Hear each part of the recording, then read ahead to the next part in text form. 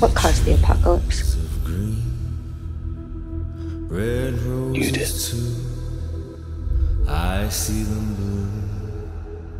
Pour me I found all of you. I think to Your myself, bodies. We dying? What a wonderful world. Horribly. All of this, it was supposed to happen. I see Life is hard. He's out experiencing the real world. He's not ready for it. It's not fair. Who is? Was I? Were you? We didn't choose this life, we're just living it. But we have to risk everything to save everything. The world ends in eight days. I have no idea how to stop it. Clock is ticking on doomsday.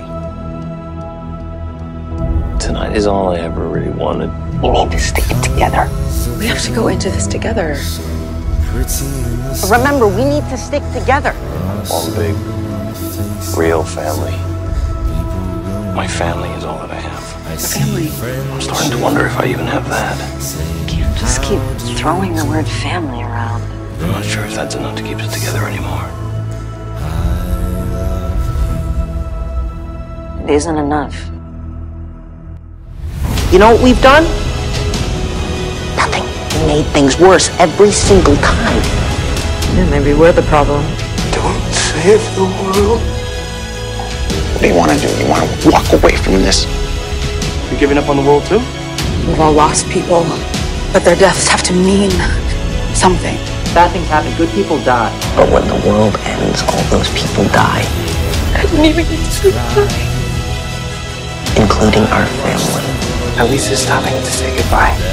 I got to say goodbye. But it wasn't enough. I mean, that's our best trait as a family. We're the only ones who can save the universe. Let's go save the bloody universe! Woohoo! Oh, The only chance we have to save our world is us. the Umbrella Academy. Yes, I think to myself, what a wonderful